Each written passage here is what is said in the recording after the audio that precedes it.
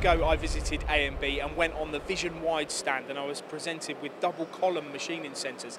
Uh, today, the story is very different. We've come back, and I can't believe that they actually make machines like this as well.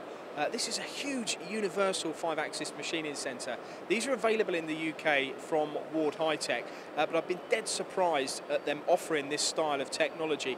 Now, also what's been impressive on the stand as well is they've actually been talking about the kind of parts that this machine makes.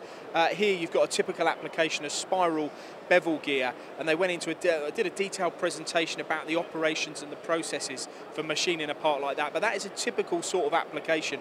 Also, this sort of mould and die work as well.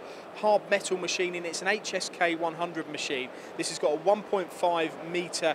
Uh, 1.5 metre table. You can also do turning on this machine as well. So it's an incredible piece of technology. I also saw on the screen at the back they did actually have a um, uh, detailed footage of the actual spiral gear being machined as well. So if you want this style of machine, Ward Hi Tech in the UK are the suppliers of the Vision Wide uh, machine. It doesn't have to be this big either. They also go down to a, a metre machine. So if you want a five-axis machine with a difference, plenty of access. Uh, if you're looking at difficult applications to machine milling and turning, this machine could offer the complete package. So say wardhightech.co.uk.